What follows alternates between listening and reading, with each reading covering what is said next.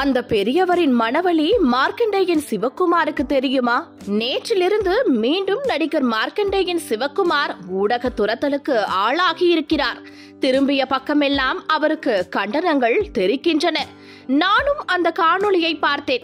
எண்பத்தி இரண்டு வயதை கடக்கும் சிவக்குமாருக்கு ஏன் இத்தனை கோபம் என எனக்கு நானே கேட்டுக்கொண்டேன். மதிமுக பொதுச் செயலாளர் வைகோவுக்கும் முன்பு இது மாதிரி கோபம் வரும். எதற்காக தெரியுமா? தனது காலில் யாராவது விழுந்தால் கெட்ட கோபம் வரும். காலில் விழுந்த நபரை கொத்தாக பிடித்து கூட்டத்துக்குள் வீசுவார்.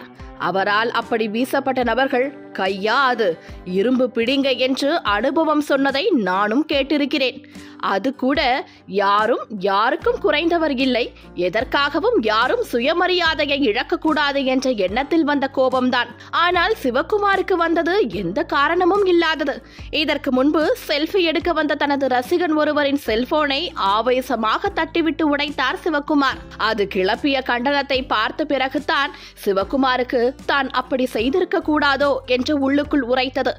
அதனால் அந்த ரசிகருக்கு தனது செலவில் செல்போன் வாங்கி கொடுத்து சமாளித்தார். அதை கூட அந்த ரசிகர் தன்னை தொல்லை செய்ததற்காக அப்படி செய்ததாக எடுத்துக்கொள்ளலாம் சிவகுமார். ஆனால் செட்டிநாட்டு பகுதியைச் சேர்ந்த அந்த பெரியவர் தனது அபிமானத்துக்கு உரியவருக்கு சால்வை அணிவித்து தனது அன்பை காட்ட நினைத்ததை அப்படி எடுக்க முடியாது. பொதுவாக செட்டிநாட்டு மக்கள் விருந்தோம்பலுக்கு பெயர் போனவர்கள் அன்புக்கு கட்டுண்டவர்கள். சிவகுமார் உண்மையிலேயே சால்வை போர்த்துவதை விரும்பாத புரட்சியாளராக இருந்தால் மேடையில் ஊதாச்சட்டை தம்பி ஒருவர் போர்த்திய சால்வையையும் அப்படி உதறி தள்ளியிருக்க வேண்டும். மேடை நாகரிகம் கருதி அதை அன்போடு ஏற்றுக்கொண்டு போட்டோவுக்கு போஸ் கொடுத்தவரின் பொறுமை அந்த பெரியவர் விஷயத்தில் எங்கே போனது?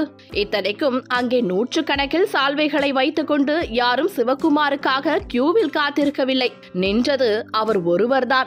அவரிடம் சால்வையை வாங்கிக் கொள்ள அதிகபட்சம் ஒரு மணித்துளி கூட ஆகியிருக்காது. சால்வைகளை தூக்கி எறிவதும் செல்போனை தட்டி விடுவதும் சிவகுமாருக்கு வேண்டுமானால் சாதாரணமாக தெரியலாம். ஆனால் அன்போடு போர்த்த வந்த சால்வையை பறித்து வீசியதால் சால்வையை கொண்டு வந்த நபர் அடைந்த மன வழியையும் பொதுவெளியில் அவர் பட்ட அவமானத்தையும் சிவகுமாருக்கு உணர்த்துவது யார்? யோகா செய்தால் கோபம் வராது என்று சொல்லிவிட்டு தினமும் யோகா செய்யும் சிவக்குமாருக்கு இப்படி கோபம் வரலாமா என நாக்கு மீது பல்லு போட்டு பலரும் பேசுகிறார்கள்.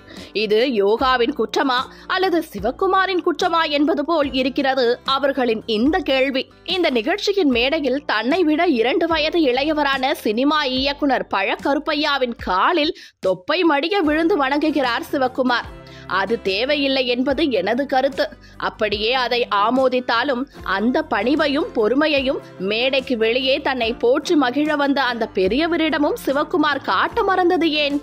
ஒன்றே ஒன்றுதான் சிவகுமார். சினிமாவுக்கு நடிக்க வந்த புதிதில் கை தட்டினால் எனக்கு காது வலிக்கும் என்று சொல்லி கை தட்டியவர்களின் கன்னத்தில் நீங்கள் ஓங்கி அறைந்திருந்தால் இன்றைக்கு இத்தனை புகழ் உச்சத்தில் நீங்கள் இருந்திருப்பீர்களா என்பதை யோசித்து பார்க்க வேண்டும். ரசிகர்கள் அபிமானிகள் என்றாலே சினிமாக்காரர்களுக்கு தொல்லைதான். ஆனால் அது அன்பு தொல்லை. எண்பத்தி இரண்டு வயதாகியும் இது உங்களுக்கு புரியாமல் போனது ஆச்சரியம்தான். கண்டன குரல்கள் ஓங்கி ஒழித்ததும் வழக்கம் போல மன்னிப்பு கோரியிருக்கிறார் சிவக்குமார். எனக்கு சால்வை போர்த்த வந்தவர் எனது ஐம்பது ஆண்டு கால நண்பர் கரீம். எனக்கு சால்வை போர்த்துவது பிடிக்காது என்று தெரிந்தும் சால்வையுடன் நின்றது அவர் தப்பு என்றால் அதை வாங்கி எறிந்ததும் என்னுடைய தப்புதான். அதற்காக மன்னிப்பு கேட்டுக் கொள்கிறேன் என வீடியோ வெளியிட்டு மன்னிப்பு கேட்டிருக்கிறார் சிவகுமார். இனியாவது சிவகுமார் பொது இடங்களில் பொறுமை காக்கட்டும்.